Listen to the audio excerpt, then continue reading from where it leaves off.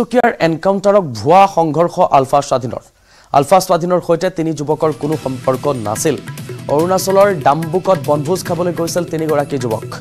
চৰকাৰৰ প্ৰশাসনৰ ভুল সিদ্ধান্তত মনোকষ্ট পাই আছিল। সুৰাপান কৰি অসুস্থ অৱস্থাত পৰিয়ালক কিছু কথা কৈছিল। কিন্তু আৰক্ষীয়ে বুজনি দিয়াৰ পৰিৱৰ্তে যুৱককেইজনক গুলীবিদ্ধ কৰিলে। ডি জি পিৰ নিৰ্দেশত ভুৱা সংঘৰ্ষ চলাৰ অভিযোগ উঠিছে। ভুৱা সংঘৰ্ষ অঘোষিত প্ৰতিযোগিতালৈ পৰ্যবেক্ষিত হৈছে। এই প্ৰতিযোগিতাই অসমলৈ অশনি সংকেত কঢ়িয়াই আনিছে। পূৰ্বৰ সিদ্ধান্তৰ কথা ভাবি আলফা স্বাধীন সংযমী হৈ আছে। আমাৰ ধৈৰ্যৰ বান্ধ ছিঙি যোৱালৈ পৰীক্ষা নল'বলৈ সকিয়নি আলফা স্বাধীনৰ ভুৱা সংঘৰ্ষৰ ৰূপ দিয়াসকলক অন্তিম সকিয়নি আলফা স্বাধীনৰ এই অঘোষিত প্ৰতিযোগিতা ইমানতে সামৰণি মাৰক বুলিও সকিয়নি দিলে। কেপ্টেইন ৰুমেল অসমে প্ৰেৰণ কৰিছে এই বিবৃতি আৰু বিবৃতিত ধৈৰ্যৰ পৰীক্ষা নল'বলৈ ধৈৰ্যৰ বান্ধ ছিঙি যোৱালৈকে পৰীক্ষা লৈ নাথাকিবলৈ সকিয়নি দিলে আলফা স্বাধীনে। তিনিচুকীয়াৰ এনকাউণ্টাৰক ভুৱা সংঘৰ্ষ বুলি অভিহিত কৰিছে আলফা স্বাধীনে। আলফা স্বাধীনৰ সৈতে এই তিনিগৰাকী যুৱকৰ কোনো সম্পৰ্ক নাছিল। অৰুণাচলৰ ডাম্বুকত তেওঁলোকে বনভোজ খাবলৈ গৈছিল। চৰকাৰ প্ৰশাসনৰ ভুল সিদ্ধান্তত মনোকষ্ট পাই আছিল তেওঁলোকে সুৰাপান কৰি অসুস্থ অৱস্থাত আছিল। কিন্তু আৰক্ষীয়ে বুজনি দিয়াৰ পৰিৱৰ্তে যুৱককেইজনক গুলীবিদ্ধ কৰিলে বুলি ক'লে ৰুবুল অসমে ৰুবেল অসমে।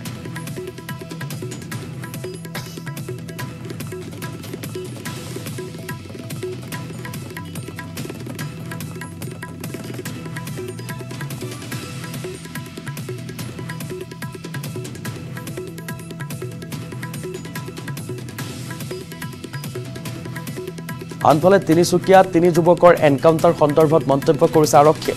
পৰিয়ালক আলফা স্বাধীনত যোগদান কৰিব গৈছো বুলি ফোন কৰিছিল তিনি যুৱকে।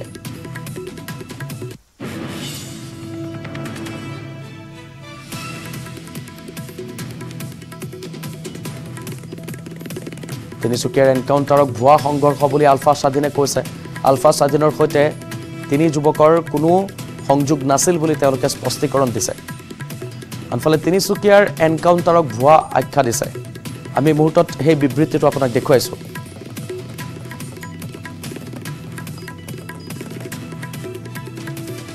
তিনিচুকীয়াৰ এনকাউণ্টাৰক ভুৱা আখ্যা দিছে সংঘৰ্ষ ভুৱা সংঘৰ্ষ আখ্যা দিছে আলফা স্বাধীনে। আলফা স্বাধীনৰ সৈতে এই তিনিগৰাকীৰ কোনো ধৰণৰ সম্পৰ্ক নাছিল। এক্সক্লুচিভলি আমি দেখুৱাইছোঁ আপোনাক কেপ্টেইন ৰুবেল অসমে যিখন লেটাৰ ইতিমধ্যে পঠিয়াইছে। সেই লেটাৰখনত এই কথা স্পষ্টকৈ লিখা হৈছে। লিখিছে যে প্ৰতি সন্মানীয় সম্পাদক ডাঙৰীয়া বৈপ্লৱিক অভিনন্দন আৰু সংগ্ৰামী শুভেচ্ছা গ্ৰহণ কৰিব আপোনাৰ বহুল প্ৰচাৰিত সংবাদ মাধ্যমলৈ সংযুক্ত মুক্ত বাহিনী অসম স্বাধীনৰ তৰফৰ পৰা তলৰ বিবৃতিটো প্ৰকাশ কৰা হ'ল। কেপ্টেইন ৰুমেল অসম সদস্য প্ৰচাৰ বিভাগ সংযুক্ত মুক্ত বাহিনী। অসম আৰক্ষীয়ে আজি যিকেইগৰাকী যুৱকক ভুৱা সংঘৰ্ষত গুলীয়াই আহত কৰিলে সংযুক্ত মুক্ত বাহিনী অসম স্বাধীন সংগঠনৰ সৈতে তেওঁলোকৰ কোনো ধৰণৰ যোগাযোগ নাছিল। আমি পোৱা তথ্য মতে উক্ত যুৱককেইগৰাকীয়ে অৰুণাচলৰ ডাম্বুকত বনভোজ খাবলৈ গৈ চৰকাৰ প্ৰশাসনৰ কেতবোৰ ভুল সিদ্ধান্তত মনোকষ্ট পায়।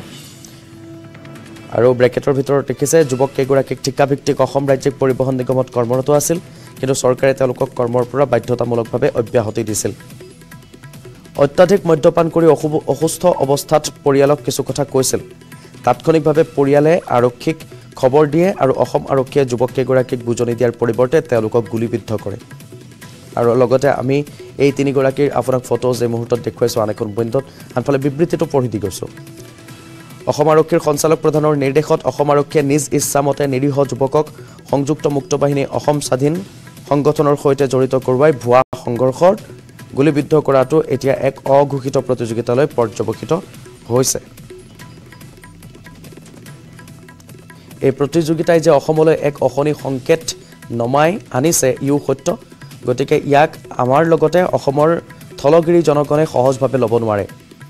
আমি জানো অসম আৰক্ষীত কৰ্মৰত আশী শতাংশ বিষয়া সদস্যৰ অসমৰ প্ৰতি ভালপোৱা আছে।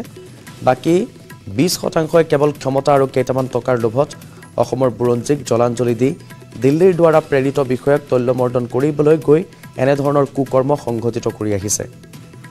ই অতিকৈ ঘৃণনীয় আৰু অসমৰ বুৰঞ্জীয়ে ইয়াক কেতিয়াও পাহৰিব নোৱাৰে। গতিকে এই আশী শতাংশ ভাল বিষয়া সদস্যই বাকীসকলক বুজনি দিয়াৰ লগতে সতৰ্ক কৰি দিয়াৰ প্ৰয়োজন আহি পৰিছে।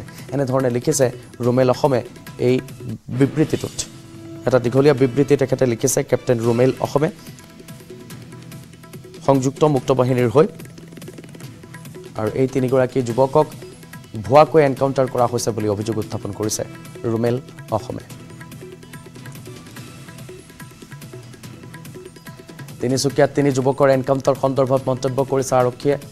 পৰিয়ালক আলফা স্বাধীনত যোগদান কৰিবলৈ গৈছোঁ বুলি ফোন কৰিছিল তিনি যুৱকে। তাৰ পিছত আৰক্ষীক খবৰ দিছিল পৰিয়ালৰ লোকে। আৰক্ষীয়ে লগে লগে অভিযান চলাই অৰুণাচলৰ খাৰচাঙৰ পৰা আটক কৰিছিল তিনি যুৱকক। কৰায়ত্ব কৰাৰ পিছত পলাবলৈ চেষ্টা কৰিছিল। লগে লগে আৰক্ষীয়ে গুলীচালনা কৰা তিনি যুৱকৰ ভৰিত গুলী লাগিছিল। এছ পিয়ে দিয়া মন্তব্য আমি আগবঢ়াম। যোৱাকালি নিশা শদিয়া থানাত গজেন বৰা বৰগোহাঁই আৰু নিপন বৰগোহাঁয়ে তেওঁলোকৰ তিনিজন ল'ৰা বিশ্বন বিশ্বনাথ বৰগোহাঁই মনোজ বৰগোহাঁই আৰু দীপজ্যোতি নেওগ। তেওঁলোকে তেওঁলোকক ফোন কৰি জনাইছে যে আমি আলফালৈ গৈ আছোঁ। তেওঁলোকে এখন মাৰুতি গাড়ী এখন লৈ কিনে গৈছে। কৈছে যে জাগোনৰ ওচৰত আমাৰ মাৰুতি গাড়ীখন এৰি থৈ যাম তহঁতে লৈ যাবি। আমি জংঘললৈ গৈ আছোঁ আলফালৈ আৰু সেইটো খবৰ পোৱাৰ লগে লগে আমি এটা অপাৰেশ্যন আৰম্ভ কৰোঁ আৰু তেওঁলোকক খাৰচাঙৰ পৰা কৰায়ত্ব কৰোঁ। আৰু খাৰচাঙৰ পৰা কৰায়ত্ব কৰি অনাৰ সময়ত তেওঁলোকে কৈছিলে যে তেওঁলোকৰ এখন মিটিং এটা হৈছিলে এটা নিৰ্দিষ্ট- জেগাত। সেই নিৰ্দিষ্ট জেগাত মিটিংটো য'ত হৈছিলে তালৈ আহি থাকোঁতে তেওঁলোক পলাবলৈ চেষ্টা কৰিলে পুলিচৰ মানে অস্ত্ৰ কাঢ়ি লৈ। তেতিয়াই তেওঁলোকক ৰখিবৰ কাৰণে কোৱা হয় নৰখে কিন্তু তেওঁলোকে তেতিয়া তেওঁলোকৰ ওপৰত তেওঁলোকক ৰাখিবৰ কাৰণে মৃদুভাৱে অলপমান হেৰি কৰা হয় আৰু। পাৰি তেওঁলোকৰ ওচৰত অস্ত্ৰ শস্ত্ৰ আমি পোৱা নাই। আপোনাৰ হেৰি হ'ল কি তেওঁলোকে খালি আলফালৈ যাবলৈ বিচাৰিছিলে যিটো আমি হ'ব দিব নোৱাৰোঁ। আমি মানুহ আলফা নিষিদ্ধ নিষিদ্ধ আলফাত আমি মানুহ যাব দিব নোৱাৰোঁ আৰু সেইটো ক্ষেত্ৰত আমি সদায় আইনগত ব্যৱস্থা ল'বই লাগিব। আৰু এই ল'ৰাকেইটা যে আলফালৈ গৈ আছে নিষিদ্ধ আলফাত সেইটো আমাক লিখিত আকাৰে তেওঁলোকৰ পৰিয়ালৰ মানুহে থানাত জনাইছে। তাৰ পাছত তদন্তৰ সময়ত আমি তেওঁলোকক কৰায়ত্ব কৰোঁ ভাৰতীমুখী